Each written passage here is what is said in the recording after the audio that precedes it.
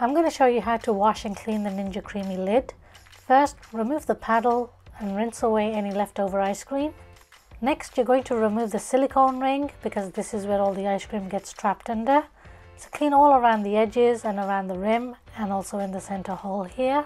Now onto your paddle, you're going to clean all these grooves in the center of the paddle where the spindle connects. I like to soak the lid and all the parts in hot soapy water before taking a hard bristle brush, scrubbing into every groove on the silicone ring and also in the center of the paddle.